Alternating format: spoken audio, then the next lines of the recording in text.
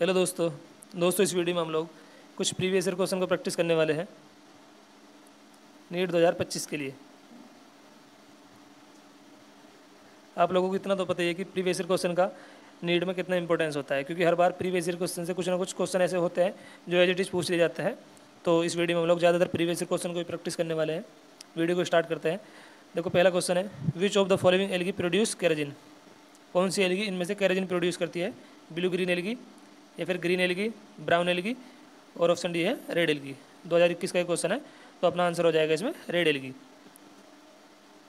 Answer हो जाएगा इसमें रेड एलगी कैराजिन ऑप्टेन होता है हमें रेड एलगी से इस वजह से ऑप्शन डी इसका सही हो जाएगा ये लिखा हुआ है देखो carrageenan obtained from red algae तो ऑप्शन डी हमारा उस क्वेश्चन का सही हो जाएगा carrageenan obtained from red algae question था which of the following algae produce carrageenan answer है रेड एलगी अगला क्वेश्चन देखते हैं अब नेक्स्ट क्वेश्चन है, नीट 2020 का है floridean starch has has structure similar to starch and cellulose amylopectin and glycogen mannitol and algin laminarin and cellulose answer हो जाएगा इसमें amylopectin and glycogen floridean starch has structure similar to amylopectin and glycogen in Rhodophyceae food store होता है as floridean starch which is very similar to amylopectin and glycogen in structure floridean starch has structure similar to amylopectin and glycogen option B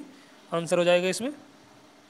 next question है edible part in mango is आम का जो खाने वाला भाग होता है, वो कौन सा होता है?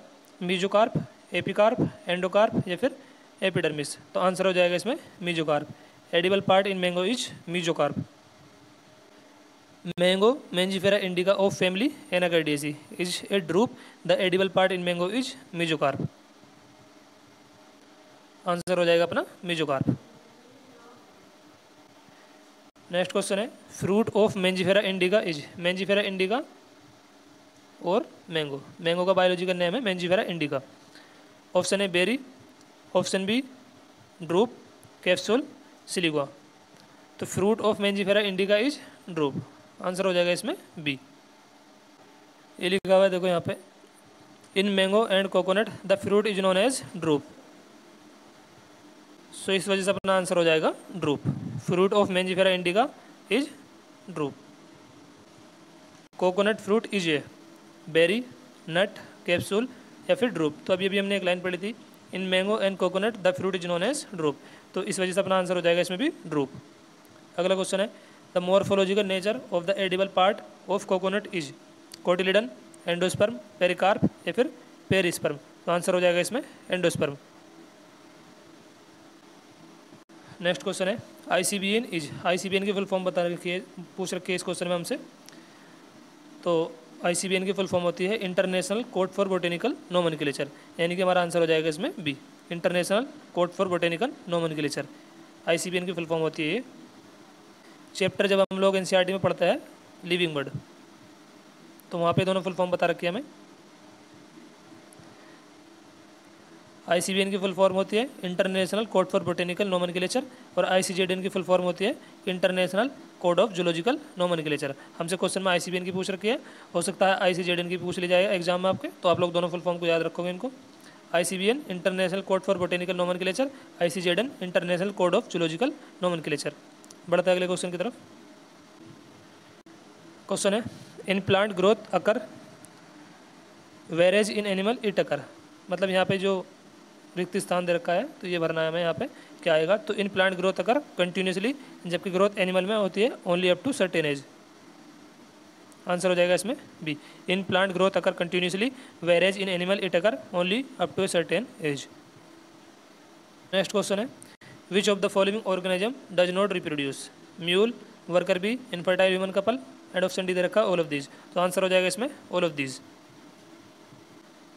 रिप्रोडक्शन ये एक नॉन डिफाइनिंग फीचर है.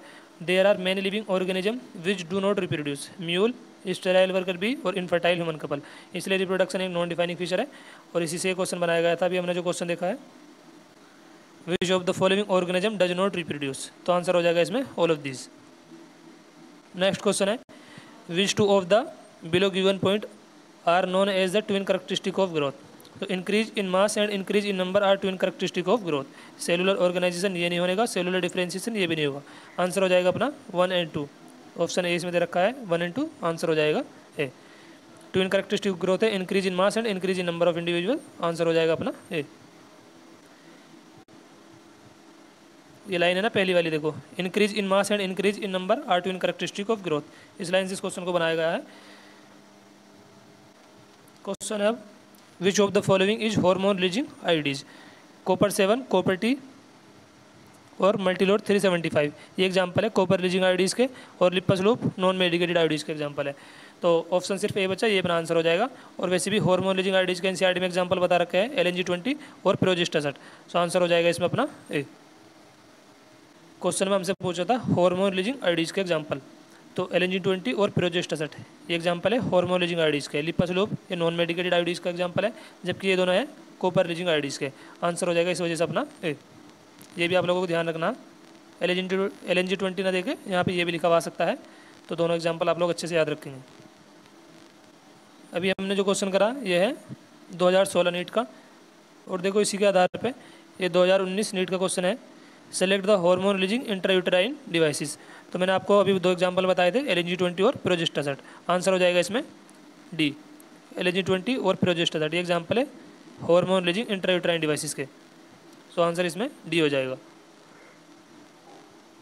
नेक्स्ट क्वेश्चन है seed formation without fertilization in flowering plant involve the process of somatic hybridization apomixis sporulation या फिर ब्रीडिंग तो सीड का फॉर्मेशन हो जाना विदाउट फर्टिलाइजेशन ये कहलाता है एपोमिक्सिस ये लिखा हुआ है देखो यहाँ पर। Apomixis there is no fertilization apomixis is a reproductive process which does not involve gametic fusion in apomictic flowering plant there is no fertilization and embryo develop simply by division of a cells of ovule seed formation without fertilization in flowering plant is the process of apomixis अगला question है nucellar polyembryony is reported in species of citrus gossypium triticum या फिर Brassica answer हो जाएगा इसमें citrus nucellar polyembryony is found in many of citrus and mango varieties answer हो जाएगा इस वजह से अपना citrus nucellar polyembryony is reported in species of citrus next question है. Which one from those given below is the period for Mendel hybridization experiment अट्ठारह सौ अट्ठारह इसको आप लोग याद रखोगे? नेक्स्ट क्वेश्चन है. Drugs called heroin is synthesize by nitration of morphine methylation of morphine acetylation of morphine and option D दे रखा हमको ग्लाइकोसाइलेशन ऑफ़ मॉर्फिन आंसर हो जाएगा इसमें acetylation of morphine drugs called heroin is synthesize by acetylation of morphine अगला question है. Which part of poppy plant is use to obtain the drug smack flower latex leaves या फिर root answer हो जाएगा इसमें latex gel electrophoresis separated DNA fragment can be visualize with the help of option है acetocarmine in bright blue light option B ethidium bromide in UV radiation option C दे रखा है acetocarmine in UV radiation and option D दे रखा हमको ethidium bromide in infrared radiation NEET 2020 का question है। Answer हो जाएगा इसमें ethidium bromide in UV radiation gel electrophoresis separated DNA fragment can be visualize with the help of ethidium bromide in UV radiation In gel electrophoresis, separated DNA fragment can be visualized only after staining the DNA with the compound ethidium bromide and followed by exposure to UV radiation as bright orange color band. Answer इस वजह से अपना हो जाएगा ethidium bromide and UV radiation. ethidium bromide in UV radiation. Next question है the sequence that control the copy number of linked DNA in the vector is term. Option है selectable marker, option B ORI site and option C palindromic sequence and option D recognition site answer हो जाएगा इसमें ORI site ये लिखा हुआ है देखो यहाँ पर origin of replication ORI site is a sequence where from replication start replication भी यहीं से स्टार्ट होती है, और this sequence is also responsible for controlling the copy number of the linked DNA next question है use of bio resources by multinational companies and organization without authorization from the concerned country and its people is called.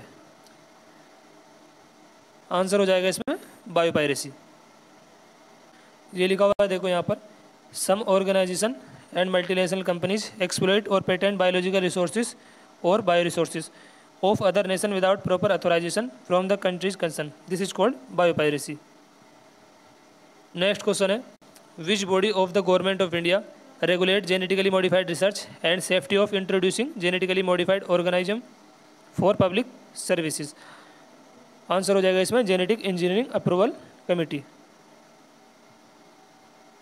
next question है the adenosine deaminase deficiency result in to option A Addison disease option B dysfunction of immune system option C Parkinson disease and option D दे रखा हमको digestive disorder answer हो जाएगा इसमें dysfunction of immune system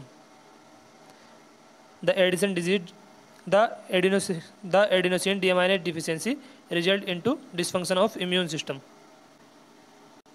adenosine deaminase deficiency ADA caused due to deletion of the gene for enzyme adenosine deaminase cause SCID which result in dysfunctioning of immune system next question है NEET 2021 का amensalism can be presented as तो इसमें species A negative और species B neutral answer हो जाएगा negative and zero population interaction से इस question को बनाया गया है अमेंसिलिज्म से. इसमें एक स्पीसीज तो लॉस में होती है और एक न्यूट्रल होती है. ना तो इसको कोई बेनिफिट होता है और ना ही इसको कोई लॉस क्वेश्चन अमेंसिलिज्म से पूछा गया था. आंसर इसमें हो जाएगा B natural reservoir of phosphorus is rock fossils sea water animal bone answer हो जाएगा इसमें. Rock natural reservoir of phosphorus is rock ये लिखा हुआ है यहाँ पर the natural reservoir of phosphorus is rock अगला क्वेश्चन है न्यूट्रिएंट साइकिलिंग से. The amount of nutrient such as carbon nitrogen phosphorus and calcium present in the soil at any given time is refers as answer हो जाएगा इसमें standing state जब आप लोग chapter ecosystem पढ़ते हो, वहाँ पे न्यूट्रिएंट साइकिलिंग के बारे में बता रखा है एनसीईआरटी में। तो वहाँ पे एक लाइन लिखी हुई है the amount of nutrient such as carbon nitrogen phosphorus calcium present in the soil at any given time is refers as standing state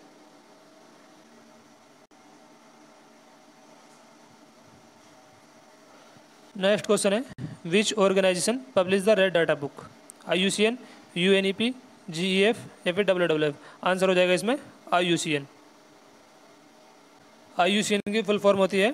International union for conservation of nature and natural resources N next question है। According to Robert May the global species diversity is about 1.5 million 20 million 50 million या option D दे रखा है 7 million answer हो जाएगा इसमें 7 million Robert May place is the global species diversity at about 7 million NCERT की line से इस क्वेश्चन को बनाया गया है।